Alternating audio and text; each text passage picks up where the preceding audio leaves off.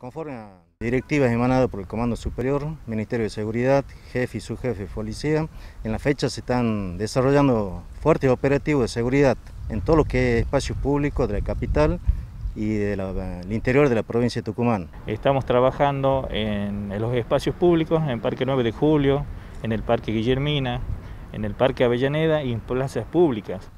Así también se reforzaron todos los accesos a las villas turísticas teniendo en cuenta que mediante resolución el COE determinó la suspensión de la actividad de turismo interno. Se recomienda quedarse en casa.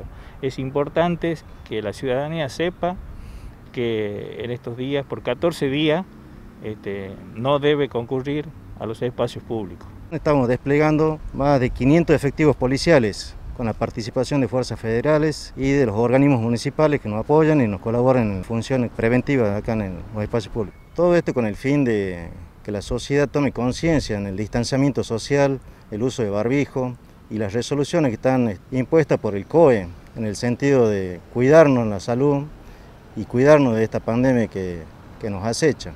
Que amén de estos operativos en los espacios públicos, no dejamos de lado la seguridad en todas las jurisdicciones del ámbito capital, en la cual tenemos los recursos del 911 recorriendo patrulleros y motociclistas, eh, como así también los móviles de las comisarías. Es importante aclarar que no descuidamos la seguridad pública.